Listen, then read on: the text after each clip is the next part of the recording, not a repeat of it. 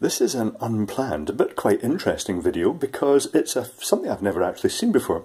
Now, these are fairly common Chinese meteor lights, and one of the reasons I got them was I was secretly hoping the power supply was going to be the really dodgy type that basically is a capacitive dropper, and all the cabling, all the sort of flimsy wiring going out to them is basically referenced to mains. But sadly, in this case, they've actually sent proper, albeit minimalist power supply, which is like a super cheap USB power supply.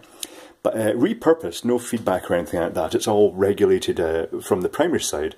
And I'm not sure what voltage it's putting out, but it's going to be quite low because these things basically just have a chip in the end and then the LEDs. No resistors or anything, so it's probably relying on the chip's own internal resistance to limit the current to the LEDs.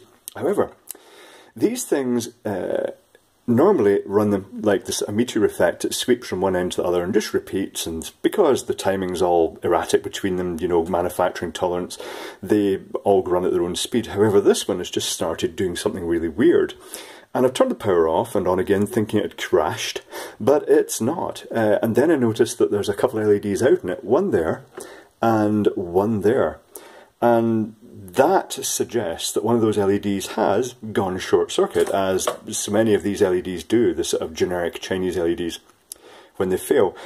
And these things are tri-state multiplexed. It means that uh, it, it, they can run, in this case, 18 LEDs from probably just five pins in the chip.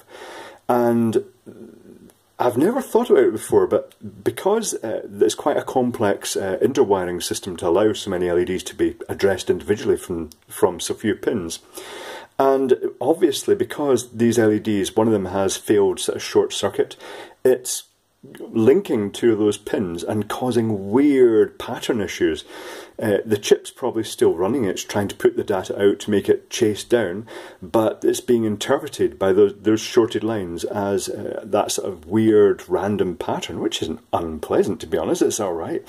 However, uh, I'll be covering these in more detail later on, and the little power supply, and we'll be taking a look inside it.